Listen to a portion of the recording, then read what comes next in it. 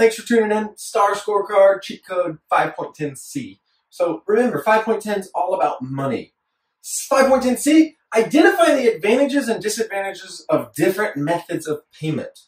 Okay, so are you going to pay in traveler's check? Have you heard of that before? Are you going to pay with cash or the regular check or credit card or PayPal, Venmo, digital payments versus electronic payments versus like effective money, which would be cash? Vocab for, look at this, C, D, E, F. All of this is going to be, this vocab is important for, for, for this teak, for these TEKS. Budget. A budget is an estimation of income and expenses. So the money that you get from your paycheck and the money that you spend. Okay, and here's a trick. Savings is considered an expense because you get income and you spend it. So maybe savings is just like you you you don't spend it, but you hide it over here for later.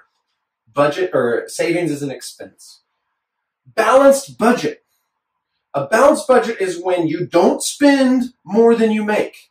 You make money and you spend it, and that is balanced and it equals zero. Okay? And then financial records. Do you keep records of what you spend? Right? Uh, types of payments, right? So this is video one. We're gonna, yeah, video one talking about the vocab. Cash, effective money, and in Spanish is, is dinero efectivo because cash is accepted everywhere. Everybody accepts cash. Money or coins, it's paper generally. Um, a check, it's a piece of paper that you sign. Really, you could check could be anything, right? Any piece of paper that you say this is the amount and that, and you sign for it. Okay, a signed paper allowing money to be drawn from an account. So I'm going to give you this paper, it's signed, and later your bank will take money from my account. That's how checks work. Credit card, a plastic card that allows purchased uh, people to purchase items on borrowed money. I have a credit card. You can spend as much money as you want on that credit card. And it doesn't mean that you necessarily have it, but the company that owns the credit card will ask for that money later plus extra. So credit cards. A debit card is cool. It's different than a credit card because a plastic card that allows people to purchase items with money from their own account. Credit is borrowed money and a debit card is money that you have in the bank. You have it. It's yours already. You're not borrowing money. And then electronic payment, it's any way that like digital, you know, the internet, any way that, that digital machines are used to help a transaction, to help a payment. Credit cards, debit cards are forms of electronic payment. Uh, PayPal, I'm sure Venmo, if you guys have used, or, or uh, Trello, I think that's a new new type of digital payment. Question number one: Addison wants to purchase a scooter from an online store. Okay, she can either buy, uh, she can either pay by check or use her credit card. If she pays by check, the cost will be one hundred and seventy-five dollars plus thirty dollars shipping. If she pays by a credit card, she will have five equal payments of thirty-six dollars plus one seventy-five uh, fee for each payment, and thirty dollars for shipping. How much money will Addison save if she pays by check? So multiple steps. We have to add this together. 175 plus 30 is 0. Uh, oh, sorry. It's 5.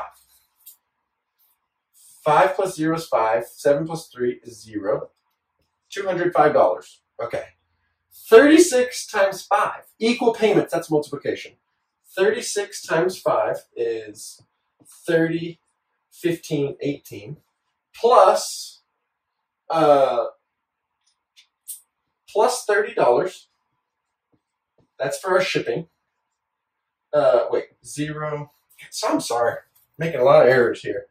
Zero, 11, 210 plus a one $1.75 for the fee. 75, 1, 1, 211.75. Now we have to subtract because we have the credit card cost. This is credit card and this is check. Okay, so 211 minus 205. 75. 11 minus 5 is 6. $6.75. There you go. So a lot of times the, this teak is just about you're going to have to do multiple payments for credit card or is cash better than credit card or what's the difference Okay, some people like to pay the fee because credit card's easier. Who's got a check? Nobody wants to send a send a check in the mail.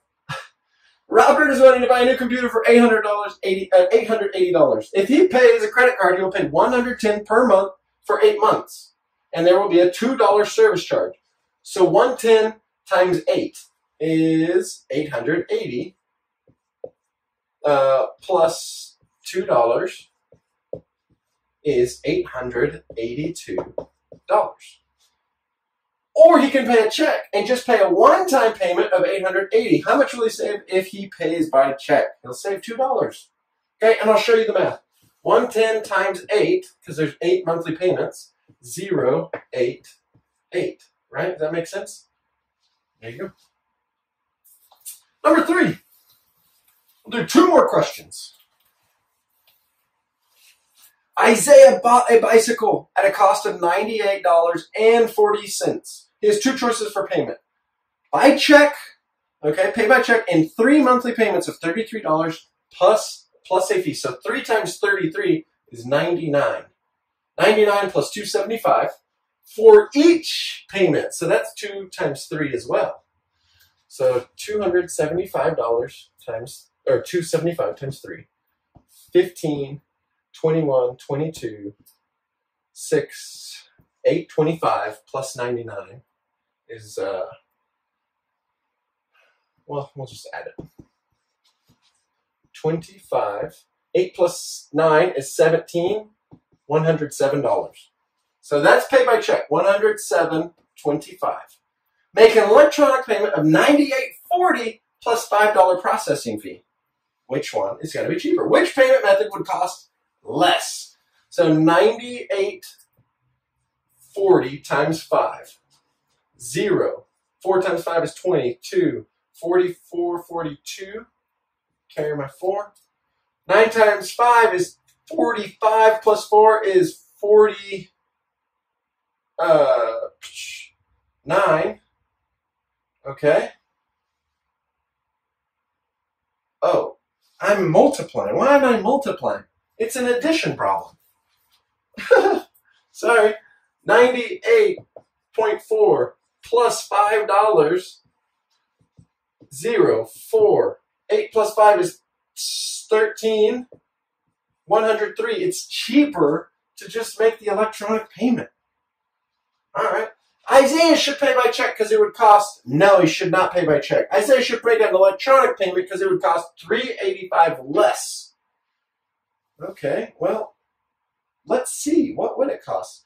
107.25 minus 103.40.